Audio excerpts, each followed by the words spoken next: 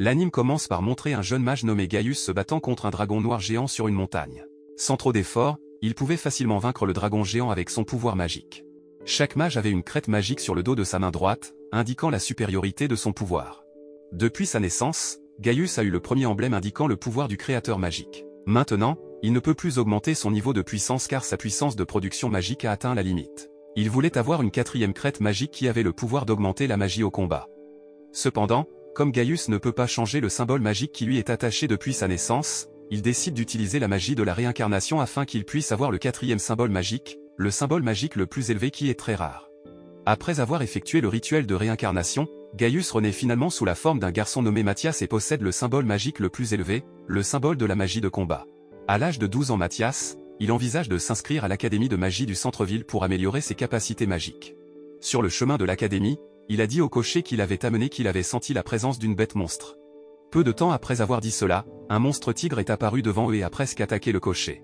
Heureusement, Mathias, un grand mage, peut facilement maîtriser le monstre tigre. Cela signifie que même s'il renaît en tant que nouvelle personne, son pouvoir magique est toujours aussi maîtrisé qu'avant sa réincarnation. Après son arrivée dans la capitale, Mathias s'est promené dans la ville pour voir l'ambiance, bien différente de celle de sa ville natale. Il s'est ensuite rendu dans un magasin d'épées après avoir entendu un bruit provenant du magasin il s'est avéré que le bruit provenait des cris d'une fille nommée Alma, qui se plaignait au forgeron parce que l'épée qu'elle avait achetée au magasin pouvait se casser facilement. Elle a demandé au forgeron de fabriquer une nouvelle épée parce que son ami devait utiliser l'épée pour l'examen de l'académie de demain, mais le forgeron a refusé. Mathias, qui a vu cela, a proposé de remplir l'épée de son pouvoir magique afin que l'épée puisse devenir plus forte. Il a même montré son symbole magique, dont il avait été très fier, mais le forgeron a même considéré le symbole magique comme un symbole raté. Voyant son sérieux, Alma a demandé au forgeron de fabriquer une épée afin qu'elle puisse voir la capacité de Mathias à remplir de magie une épée. Peu de temps après, l'ami d'Alma, Luri, est venu à la boutique, et Mathias était gêné parce qu'il était fasciné par sa beauté. Il s'avère que Luri est la propriétaire de l'épée cassée qu'Alma avait précédemment donnée au forgeron, et elle est venue à cet endroit pour obtenir une nouvelle épée. Une fois que le forgeron a fini de fabriquer une épée, Mathias a rempli l'épée de son pouvoir magique. Ensuite, Alma et Luri ont semblé surpris par ses capacités car il utilisait la magie sans lancer de sort.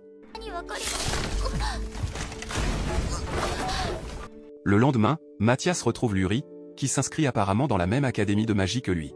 Lorsqu'elle faisait un test d'épée avec un superviseur, Luri a surpris beaucoup de gens parce que son épée était capable de couper l'épée de l'examinateur. Après que les gens découvrent que la personne qui a jeté un sort sur son épée est Mathias, ils deviennent curieux du test qu'il va subir.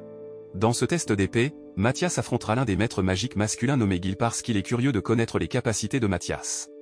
Gil sous-estime initialement ses capacités, mais après que Mathias ait remporté le combat à l'épée, Gil commence enfin à le reconnaître.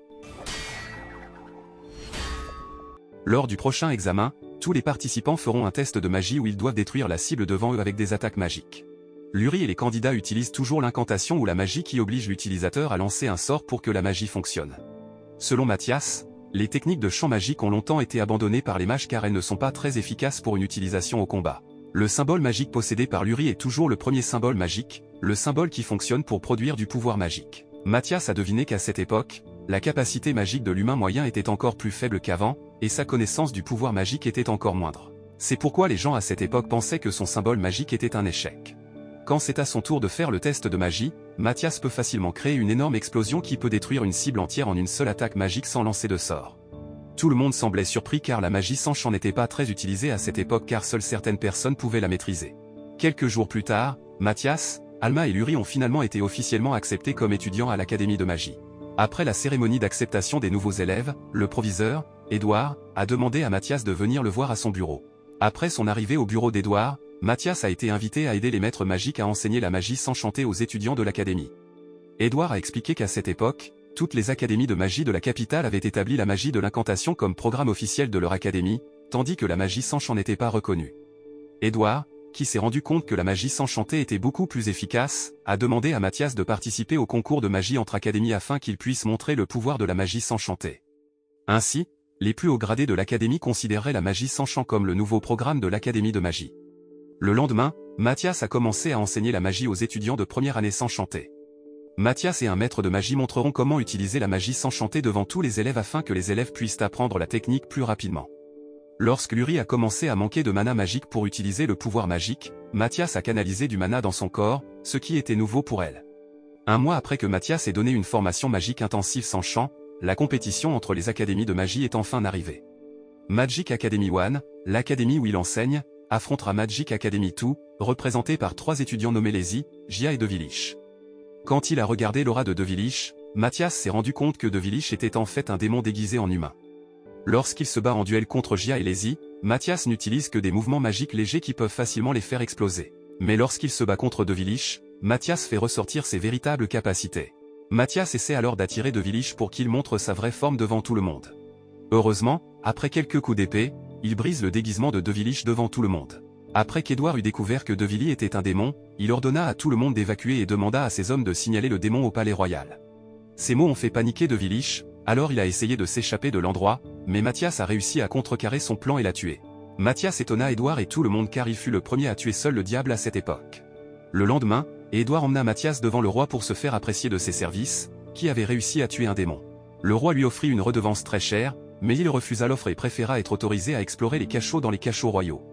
Peu de temps après, Mathias s'est rendu compte que dans le donjon, il y avait de nombreux démons qu'il pouvait vaincre pour augmenter son pouvoir magique. Il peut trouver diverses gemmes ou artefacts magiques qui peuvent être utilisés pour fabriquer des armes très puissantes. Dans le passé, les gens se battaient toujours pour les donjons, mais de nos jours, les gens ne savent pas grand-chose sur les ressources des donjons. Peu de temps après, le roi a dit à Mathias que les démons ont commencé à apparaître dans le monde humain il y a 100 ans et sont mieux connus sous le nom de quatre enfants magiques. Depuis l'apparition de l'enfant magique dans le monde humain, les humains ont commencé à reconnaître divers pouvoirs et compétences magiques, mais jusqu'à présent, les capacités magiques humaines n'ont pas augmenté. En entendant cela, Mathias soupçonna que les démons s'étaient infiltrés et se déguisaient en humains pour répandre de fausses connaissances magiques aux humains. Il conclut qu'il est très probable que les démons reviendront dans le monde humain à plus grande échelle. Par conséquent, Mathias a suggéré au roi de construire une barrière permanente autour de la zone royale en utilisant un artefact sacré. En entendant cela, le roi accepta et le nomma chargé de protéger le territoire du royaume des attaques de démons. Le lendemain, Mathias se rend à l'armurerie royale pour trouver une pierre magique et un artefact sacré pour créer une barrière. De manière inattendue, lors d'une recherche, il a trouvé une épée sacrée et un pendentif sacré qu'il avait lui-même créé. Le lendemain, Mathias invite Luri et Alma à l'aider à trouver un artefact et à chasser des monstres dans le donjon royal. Mais ils hésitaient à accepter l'offre parce qu'ils craignaient de ne le charger que dans le cachot. De plus, Alma a dit qu'elle était plus habile avec les flèches qu'avec les épées, mais parce qu'elle n'a pas choisi les flèches magiques, elle a été forcée d'utiliser des épées comme les autres élèves. En entendant cela, Mathias lui a appris à canaliser la magie dans des flèches ordinaires afin qu'Alma puisse maximiser son potentiel. Il a promis d'enseigner à Alma et Luri la technique d'ajout de magie afin qu'ils acceptent de le suivre dans le donjon. Après son arrivée dans le donjon, Mathias a entraîné Alma à tirer des flèches magiques, et elle a réussi à maîtriser la technique en un rien de temps. Peu de temps après, elle fait la chasse aux monstres seule pendant que Mathias enseigne à Luri la science de la création d'armes. Après avoir appris la technique de fusion du fer et le processus de création d'armes, Luri a finalement commencé à maîtriser la technique. Elle a même créé des armures de protection et des armes de combat pour qu'Alma puisse traverser divers obstacles de donjons aux étages les plus bas. Après être arrivé au dixième étage, Mathias a demandé à Luri et Alma de se reposer à l'intérieur de la barrière qu'il avait créée pendant qu'il se rendait à un étage supérieur pour chercher la pierre d'adamantite. Après l'avoir trouvée, Mathias a dû se battre contre le boss monstre au sol. Heureusement, il a vaincu le monstre en empoisonnant l'air à cet endroit. Après avoir obtenu des matériaux du donjon, Mathias, Alma et Luri se sont rendus dans un magasin d'artefacts pour vendre leurs trouvailles. Au début, la réceptionniste du magasin le méprisait et pensait qu'il n'était qu'un assistant aidant à transporter des marchandises pour Alma et Luri. Mais après que Mathias ait montré la tête du monstre géant qu'il avait vaincu, la réceptionniste a été choquée. Il lui a montré une grosse pierre magique avec un prix de vente très élevé, obligeant la réceptionniste à lui payer une grosse somme d'or. Sur le chemin du retour vers le dortoir de l'académie, Mathias sentit soudain la présence de deux démons qui s'apprêtaient à venir à l'académie. Ses soupçons sont avérés. Deux démons masculins nommés Ashril et Deshril volent au-dessus du ciel de l'académie et ont l'intention d'attaquer les humains pour se venger de la mort de leurs camarades, de Vilich. Peu de temps après, Mathias demande à Luri et Alma de distraire l'un des démons pendant qu'ils tentent de combattre les autres démons. Après cela, il combattit les deux démons en utilisant son épée magique et son pouvoir magique élémentaire. Au milieu du combat, Alma et Luri ont tenté de limiter les mouvements de l'ennemi en tirant des flèches magiques sur le corps du démon. Ils essaieront de distraire Daryl, afin que Mathias puisse lutter plus librement contre Ashril. Ensuite, Ashril lui lance constamment des attaques de mêlée, mais Mathias peut esquiver toutes ces attaques grâce à sa vitesse de déplacement. Il peut même contre-attaquer Ashril et bloquer le mouvement d'Ashril en utilisant la magie élémentaire. Après une bataille assez féroce, Mathias a finalement fait tomber Ashril et a scellé le démon afin que le démon ne puisse pas invoquer d'autres troupes démoniaques. Après la défaite d'Ashril, Mathias est allé après Alma et Luri pour donner une leçon à Daryl. Lorsque Daryl était sur le point de fuir cet endroit, Mathias et Alma l'avaient déjà paralysé avec leurs attaques combinées afin qu'ils puissent être renversés. Après cet incident, Mathias, Luri et Alma ont été invités au palais royal pour recevoir un cadeau du roi. Il a de nouveau demandé la permission d'explorer d'autres donjons, alors qu'il préférait recevoir une grosse somme d'argent. Au cours de la conversation, Mathias a détecté une aura démoniaque dans le palais royal et a senti que le démon veillait sur eux tous. Après avoir utilisé sa magie pour démanteler le démon, le démon a soudainement crié et le son du cri a été instantanément reconnu par le roi. Le roi a dit que la voix était similaire à celle de l'ancien commandant en chef du royaume nommé Erran, qui avait disparu il y a plusieurs années. Mathias a déclaré que la technique magique qu'Erran venait d'utiliser pour espionner le palais était une magie qui pouvait permettre à l'utilisateur d'entendre la conversation et de voir tout ce qui se passait dans le lieu. Mathias a alors dit au roi que le rayonnement magique des éclaireurs venait de la région nord-ouest du royaume.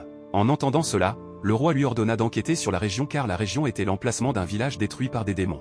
Le lendemain, Mathias, Alma et Luri se sont rendus dans une vallée à la recherche d'un monstre géant qui était autrefois une légende. Le monstre légendaire était un dragon noir géant nommé Iris, qui avait été vaincu par Mathias dans sa vie précédente. Au début, Iris ne réalisait toujours pas que Mathias était la réincarnation d'un grand mage, mais après avoir montré son pouvoir magique, Iris réalisa que Mathias était Gaius. Mathias a accidentellement rencontré Iris pour qu'elle puisse les emmener au village où il voulait aller. Mais malheureusement, l'une des ailes d'Iris avait été brisée à cause de l'explosion du réacteur magique qui s'était produite il y a plusieurs centaines d'années. Elle révèle que toute l'humanité a été tuée après la grande explosion, de sorte que la civilisation humaine est revenue à l'âge de pierre. En entendant cette déclaration, Mathias a finalement compris pourquoi la civilisation humaine et la science à cette époque n'étaient toujours pas aussi avancées qu'à l'époque où il vivait en tant que Gaius. Mathias essaie alors de soigner l'aile cassée d'Iris en utilisant sa force, bien que cette méthode ne puisse toujours pas restaurer complètement son aile. Cependant, Alma et Luri ne pouvaient que rester immobiles lorsqu'ils ont découvert que Mathias pouvait se lier d'amitié avec un dragon noir géant qui semblait très dangereux.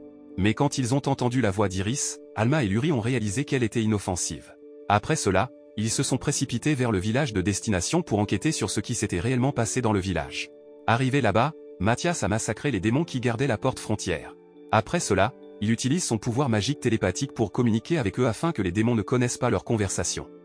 Au début, en entrant dans une pièce, Alma et Luri étaient confus parce qu'ils ne voyaient pas un seul démon à cet endroit.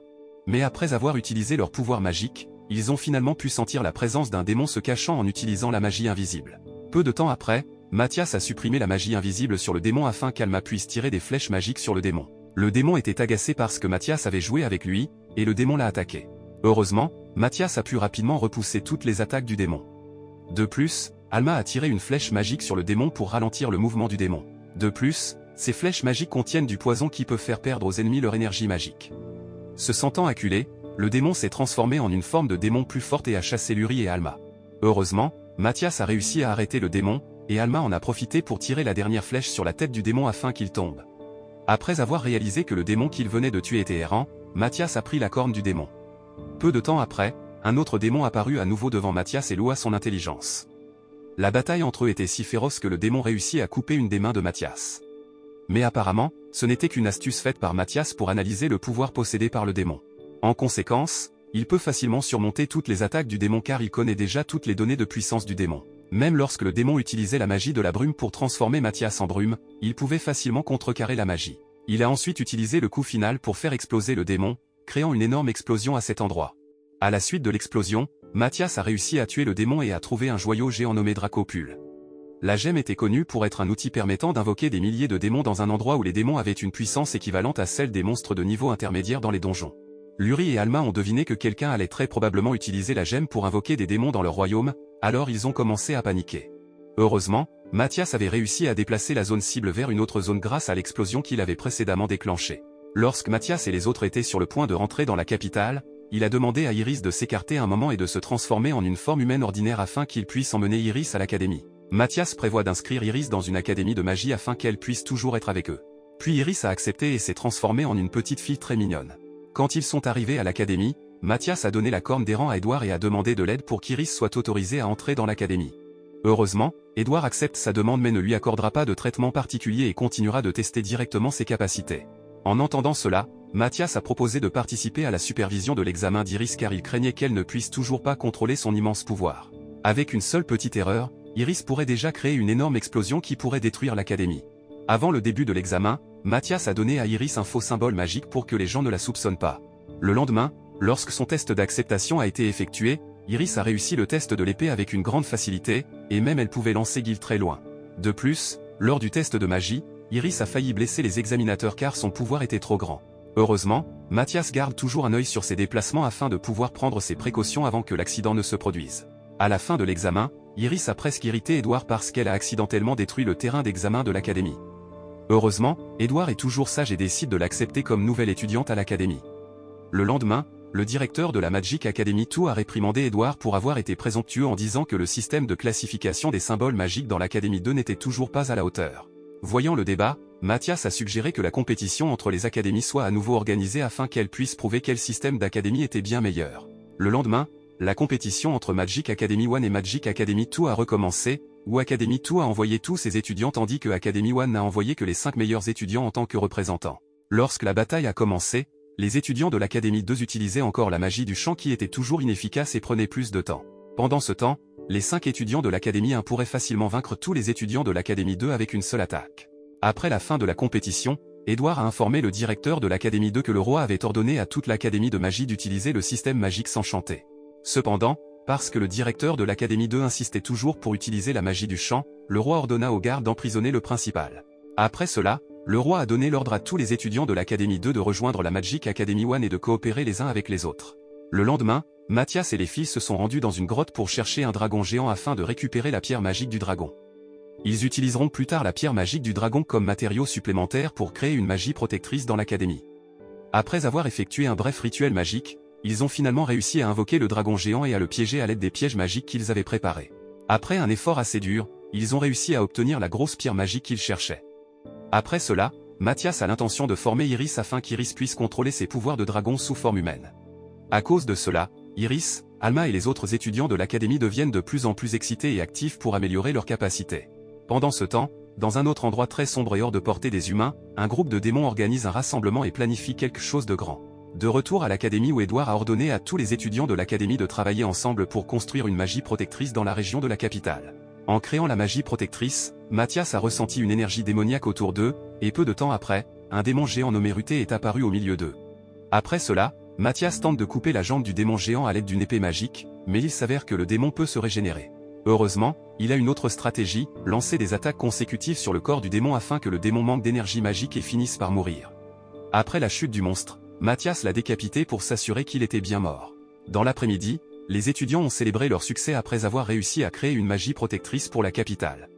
Le lendemain, Mathias a demandé à Edouard la permission de le laisser partir à l'aventure dans une autre ville pour enquêter sur la veine du dragon. Edouard a accepté cela et a même permis à ses amis de partir à l'aventure. Le lendemain, Edouard et d'autres élèves de l'académie escortèrent Mathias et ses amis, qui s'apprêtaient à faire un long voyage. Le premier jour, ils prévoyaient de se rendre dans le plus grand donjon situé sous la ville appelée Melgia. Pour gagner du temps, ils décident de passer par la forêt de Subia, très hantée et repère de monstres. Alors qu'ils entraient dans la forêt, Luri commença à se sentir mal à l'aise en pensant aux monstres qui pourraient les attaquer. Puis Iris avait l'intention de les inviter à voler ensemble, mais Mathias lui a interdit car Iris était encore en convalescence. Après avoir marché pendant plusieurs heures, Alma et les autres ont trouvé étrange qu'il n'y ait pas de monstres pour les déranger pendant le voyage. Alors qu'ils s'apprêtaient à déjeuner, Mathias les invita à chasser des animaux dans la forêt afin de conserver la nourriture qu'ils avaient apportée. Après avoir chassé pendant quelques minutes, Mathias a réussi à obtenir beaucoup d'animaux allant des monstres singes aux sangliers. Luri utilise alors ses pouvoirs pour créer des ustensiles de cuisine. Après que tout le bois de chauffage et les légumes aient été préparés, Alma a commencé à cuire la viande avec son pouvoir magique du feu. Bien que la nourriture ait explosé pendant le processus de cuisson, ils se sont sentis très satisfaits lorsqu'ils ont goûté la viande. Après avoir mangé, Mathias et les autres ont continué leur voyage jusqu'à ce qu'ils arrivent enfin à l'extérieur de la forêt. Il dit ensuite que les monstres de la forêt de Subia ne les attaquent pas parce qu'ils ont peur de l'aura de dragon d'Iris. Le soir, lorsque Mathias et les autres arrivent dans la ville de Melgia, ils sont surpris par l'atmosphère très sombre et déprimante de la ville. Non seulement cela, mais le flux d'énergie magique dans la ville était très faible et instable. Sur la base des aveux d'un des habitants qu'ils ont rencontré, le chef de la ville a corrompu toutes les pierres magiques fournissant de l'énergie dans toute la ville. L'atmosphère dans la ville devenait plus calme car un monstre puissant est soudainement apparu dans le donjon de la ville il y a quelque temps. En entendant cela, Mathias était intéressé à entrer dans le donjon et à enquêter sur le monstre. Cependant, Lorsqu'il a enregistré sa guilde au bureau d'accueil, le réceptionniste a déclaré qu'il devait obtenir une recommandation du chef de la ville pour entrer dans le donjon de la ville. Chaque aventurier qui venait dans la ville devait accéder à chaque demande du chef de la ville pour obtenir la permission d'entrer. Avant de prendre une décision, Mathias a interrogé Alma et Luri sur leur sincérité dans l'obtention du permis, et ils ont accepté. Peu de temps après, une autre réceptionniste a demandé à la hâte à quelqu'un qui pourrait soigner les aventuriers gravement blessés par des attaques de monstres. En arrivant à la tente médicale, Mathias eut l'air choqué lorsqu'il vit que de nombreux aventuriers étaient grièvement blessés en raison des politiques imprudentes mises en place par le chef de la ville. Il a utilisé la puissance du détecteur pour analyser l'état physique de chaque patient afin de pouvoir repérer rapidement les patients qui avaient besoin d'une aide médicale. Après avoir marqué chaque patient, Mathias ordonna à Alma et aux autres de soigner les patients légèrement blessés. Au début, le chef médical de cet endroit a rejeté son idée parce qu'il avait des doutes sur ses capacités de guérison. Mais après que Mathias a montré sa capacité à restaurer la condition physique du patient, le chef médical a commencé à lui faire confiance. Mathias a alors ordonné à chaque personnel médical de traiter le patient selon la séquence de chiffres qu'il avait écrite dans le signe de chaque patient. En conséquence, après leur travail acharné, ils ont sauvé tous les patients. Par la suite, le médecin-chef a loué sa capacité et a remercié Mathias pour son aide. Il a ensuite interrogé le médecin-chef sur l'ancien chef de la ville, et il s'est avéré que le premier chef de la ville était mort dans son sommeil. La nuit avant de se reposer, Mathias a écrit une lettre secrète au proviseur. Le lendemain matin, Mathias et les filles entrent secrètement dans le donjon de la ville pour faire une chasse aux monstres. Après avoir obtenu ce qu'ils voulaient, ils ont essayé de trouver le bureau d'accueil pour vendre les crânes des monstres qu'ils avaient vaincus. Peu de temps après, Mathias prévoit d'attirer l'attention du nouveau chef de la ville avec les découvertes du crâne de monstres. Il s'avère que cette méthode a réussi à intéresser le chef de la ville à lui. La nuit suivante, après que Mathias et les autres aient fini leur dîner, des bandits les ont secrètement suivis et les ont menacés de leur remettre leur argent. Heureusement, Mathias a pu les déjouer avec sa magie de dissipation afin que les bandits ne puissent pas les trouver. Après qu'il soit apparu accidentellement, le bandit l'a attrapé et a pointé une arme sur lui. Heureusement, Iris a pu vaincre facilement tous les bandits.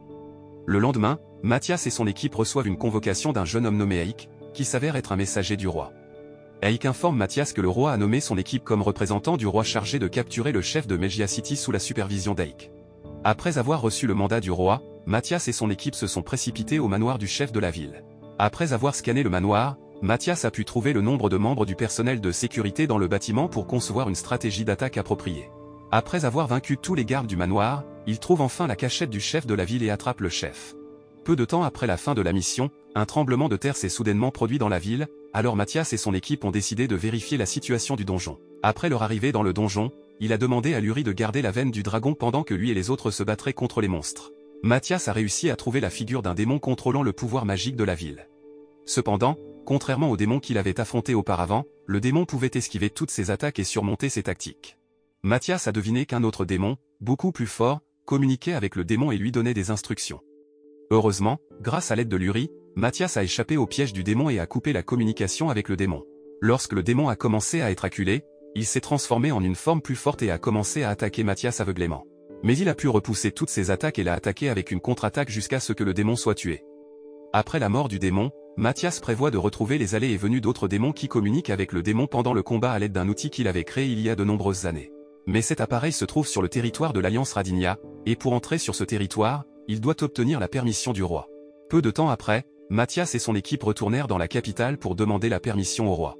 Quand ils sont arrivés à la capitale, ils ont découvert qu'Edouard reconstruisait le bâtiment de l'Académie de magie pour qu'il soit plus fort et capable de résister aux attaques des démons. Après avoir obtenu la permission, ils se sont précipités pour continuer leur voyage vers la destination, qui était soupçonnée d'être une zone interdite. Tous ceux qui sont entrés dans la région devaient avoir une capacité de rang A et plus, ils ont donc décidé d'augmenter leur rang grâce à l'examen de promotion dans la ville suivante. Après l'arrivée de Mathias et de son équipe dans la ville, un superviseur de test nommé G.I. Brode a dépassé Alma, Luri et Iris parce que leur symbole magique était considéré comme supérieur. Cependant, Mathias, qui possède un symbole magique considéré comme un symbole d'échec, doit réussir l'épreuve en luttant contre G.I. Ensuite, ils ont affronté des épées dans un duel en tête-à-tête.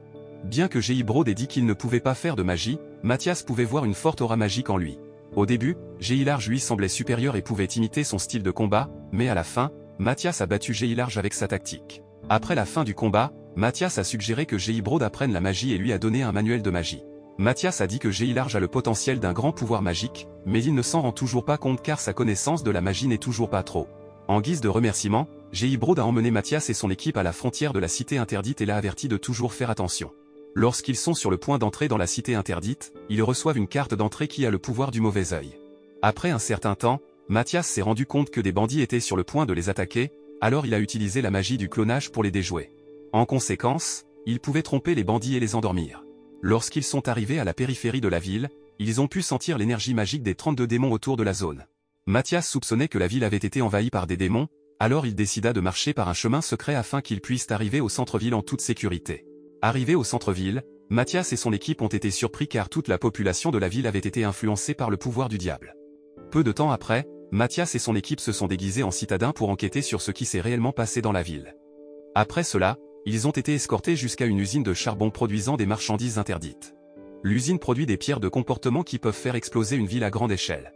Cette nuit-là, Mathias et son équipe élaborent un plan pour tuer le démon contrôlant la ville en utilisant Iris comme appât.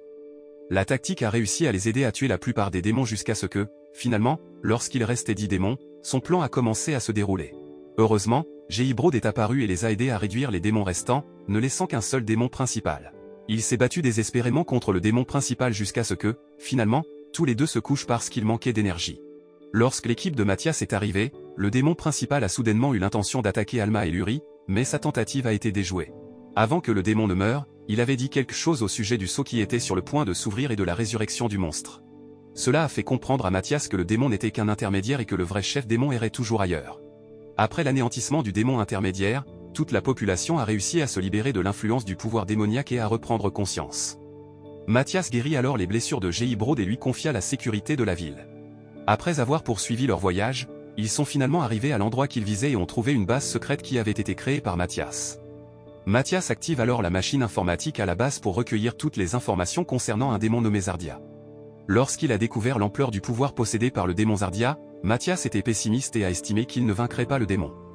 Mais il se souvenait de l'épée magique qu'il avait créée dans le passé où l'épée magique se trouvait dans l'arsenal du palais royal. Peu de temps après, Mathias et son équipe se précipitent vers la capitale pour s'emparer de l'épée magique.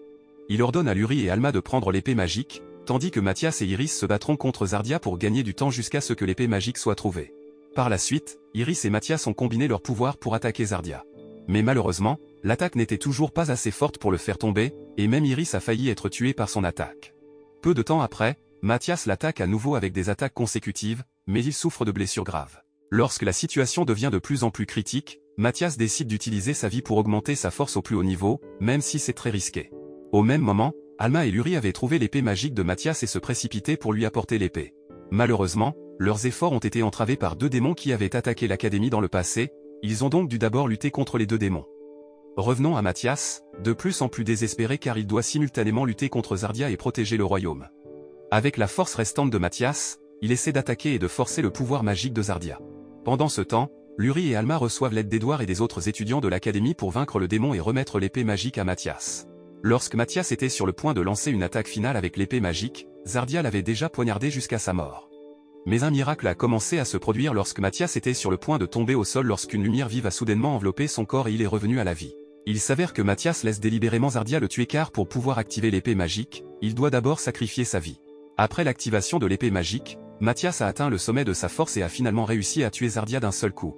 Avant de mourir, Zardia a déclaré que de nombreux autres démons pourraient tuer Mathias et que la bataille continuerait. Une fois le combat terminé, Luri courut chercher Mathias et le serra dans ses bras. Le lendemain, ils sont convoqués devant le roi qui veut leur conférer à tous titres et domaines. Cependant, Mathias refuse l'offre de cadeaux et préfère continuer sa vie d'aventurier, tandis qu'Iris et les autres demandent avidement des cadeaux en argent et en nourriture. Un autre jour, Mathias se rendit au magasin royal pour acheter un cadeau de pierre magique qu'il présenterait à Luri. Mais peu de temps après, Édouard est venu et lui a demandé d'avoir une réunion d'urgence. Édouard montre alors une poupée en bois qui a envahi la zone frontalière du royaume magique. Après avoir effectué une inspection, Mathias a deviné que la poupée en bois avait été envoyée par les démons avec l'aide de l'énergie des humains. Il a été chargé d'enquêter sur la poupée en bois avec Gil. Le soir, Mathias invite Luri à se retrouver en privé dans le jardin de l'académie avant qu'il ne lui offre enfin un collier de cristal. Depuis lors, leur relation s'est rapprochée en tant qu'amoureux. Le lendemain, Mathias et son équipe se lancent dans l'aventure pour accomplir toutes les missions confiées au royaume magique. Leurs aventures se poursuivront jusqu'au dernier moment où la mort les séparera. L'animé se termine. Ce que l'on peut apprendre de cet anime, c'est que les liens solides d'amitié et de solidarité que nous entretenons avec nos amis les plus proches nous aideront à résoudre tous les défis de notre vie.